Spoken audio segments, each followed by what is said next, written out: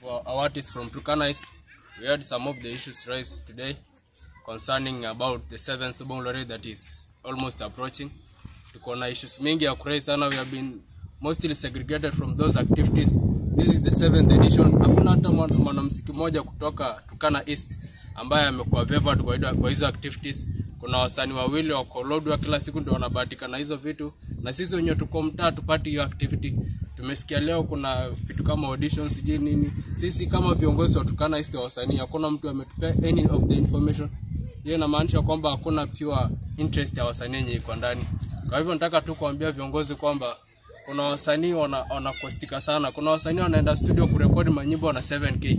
Kuna wasanii wana shoot video ya 30k, 40k wana market Turkana culture but they have never been favored in those activities. Kwa hivyo mimi naomba serikali na hiyo ministry yenye inahusika na wasanii ikuje tuangalie na ifeve kila, ifeve kila msanii kulingana na chenye ako naye. Kama kuna audition nafanyika, kila msanii akuwe involved in, that, in those activities cause tunaumia.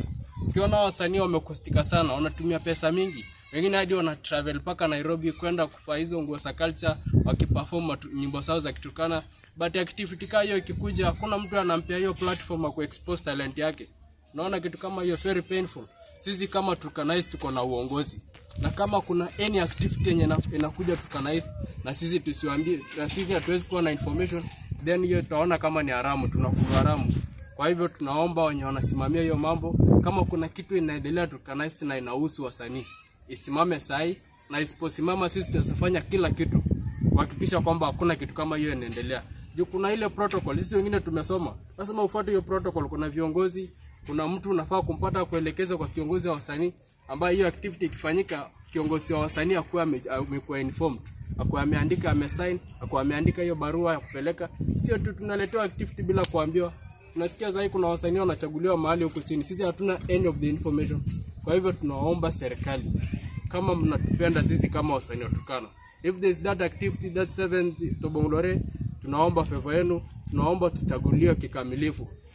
Tunataka kutuchagulia kikamilifu. Kuna wasanii wanajiita Turkanais Tokolodwa, kila siku ndio wanafaidika na mambo ya Tobonglore, lakini unaona vijana wanakaa kwa mtaa wanakaa Turkanais hawajai pata hiyo chance, lakini wenye wakolodwa ndio wanabahatika. Hiyo inamaanisha there is segregation in that, in that leadership.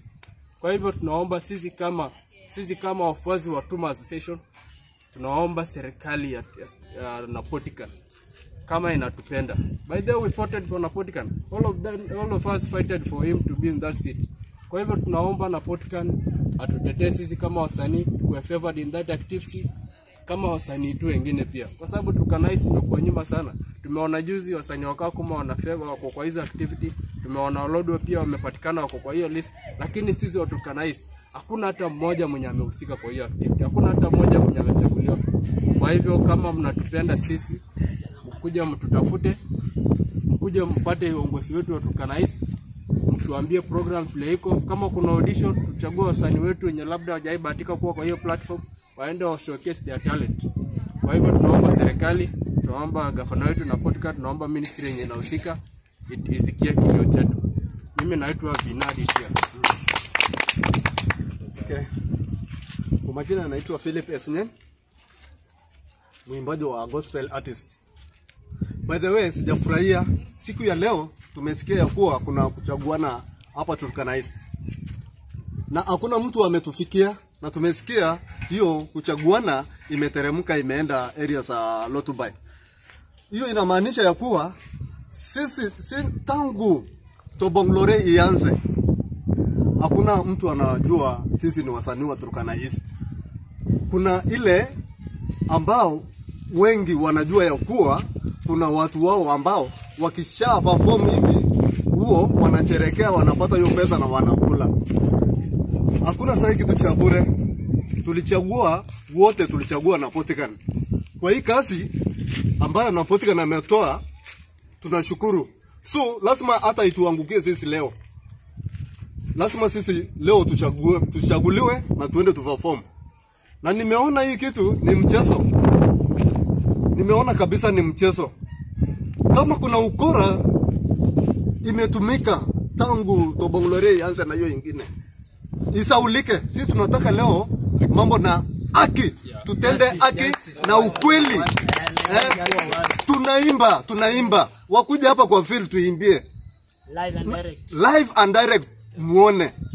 Sasa mi sijui hiyo kuchaguana ya msituni inamaanisha nini eh? Na hapa ndio headquarters. Mbona mnasema Turkana East, Turkana East? Hapa ndio headquarters. Mbona kuchaguana inateremka chini? Si wangekuja wote hapa tufaform nini na nini, ndio tuone nani ndio hako sawa, ndio tuende eh? Kama ni mavideo tufunguliwe tuone wakina nani ndio wametoa na wakina nani ndio bado. Mbona kuchaguliana inaenda msituni? Huko ni msituni eh? Wacha tufanye hii kitu hiyo, hatujui hatujui na hatutaki eh, wacha liwe liwalo, la sivyo mtaendelea nao, sisi tutabaki na Mungu na Mungu huyu atatuinua. Nimewachia hapo. Kwa majina naitwa Danfona Ikush Danfona. Mimi ni msanii wa Turkana East. Hii man I'm secular artist. Na hii story ya Tobongolore, hii story inatuuma sana. Sasa hii Tobongolore ya saba imefanyika, hakuna hakuna msanii wa Turkana East amesaidika. Kuna watu wanatumia jina ya wasanii kukulia wasanii. Kama saizi hii audition ilikuwa inafaa kufanyika leo Turkana East, tunashangaa kama sisi wasanii, kuna wasanii wametoka Dubai, Katilia, wamekuja hapa Lokori, tunaongojea audition ifanyike, wamekaa mpaka sasa hivi. Umeona wasanii wote wengine kuna wenye wametoka Elele wapi, transport, mtu ame- mtu ametoa pesa yake, amesacrifice pesa yake kukuja kufanya audition, lakini audition haijafanyika, hatujajua nini ndio inaendelea. Na jana tumepata message tarehe 26 kuna audition itafanyika hapa. Lokori. Sasa tunashangaa sana, yani sisi wasanii tunakuliwa, na unajua msanii kitambo kitambo kitambo akuwe msanii ametumia pesa, unatumia pesa ndio uingie studio utoe wimbo utetee area yako. Kama saa hizi mimi kuna wimbo ya Amani nili, niliimba nilitumia pesa zangu ni nikaimba nikatetea hapa. Sijaipata platform ya kuimba huko Tobongore na nimeimba nyimbo mzuri ya Amani. Hiyo kitu inauma sana. At least kama tunataka justice ifanyike, audition ikuje ifanyike, hata kama ni katikati ya town. Mafans wako kama kama msanii ako sawa kwa wimbo yake achaguliwe kwa justice, tunakubali Wewe nafasi yake aende. lakini ile ile ati unachukua kuna list na peona ati juu baba yako ako kwa sijui nini kwa hiyo ministry ati ndio unaikwa director. Hapana, tunataka justice. Kama mtu ako na talent yake achukuliwe, tunakubali, lakini si ati tuna kuna list ati mimi mimi ndio nani ndio napeana ma list. Hakuna, tunataka justice. Kwa hiyo audition yenye inaendelea, tunataka justice. Kama ni audition ifanyike katikati ya town, mafans Nini waangalie na nini? Mtu aperform kama wimbo yake ni sawa ni sawa, kama si sawa si sawa. Hiyo tunaomba tunaomba Simba. Kwa sababu tangu tangu Tomolorea ifanyike hata saa hizi audition tunafurahia, tumesikia audition saa hizi.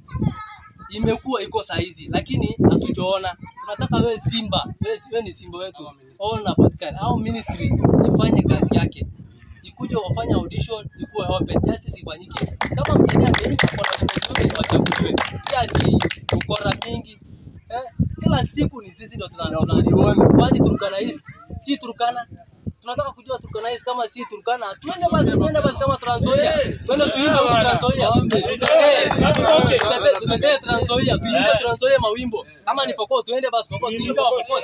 Kama ni Baragoi wapi, tunaende basi huko. Kama unataka. Nashangaa saa hizi ati audition iko Turkana East na haijafanyika hapa Turkana East. iko town yenyewe. hiyo kitu inauma sana. Juu before before uende kwa studio kuna pesa unapeana kwa studio utoe wimbo. Unatoa wimbo ukitetea wapi? Turkana East. Kama mimi tu kuwa na haki katika wasanii wote. Kama sisi kama wasanii wa Turkana East tunaomba haki, na kama kuna any activity, na hii atu, hatubembelezi mtu, sisi hatubembelezi, hatubembelezani hapa. Kama kuna any activity inaendelea Turkana East na inahusu wasanii na wasanii wa Turkana East wenyewe hawahusiki ndani, sisi tunaweza fanya kila kitu kuhakikisha ya kwamba hakuna kitu inaendelea.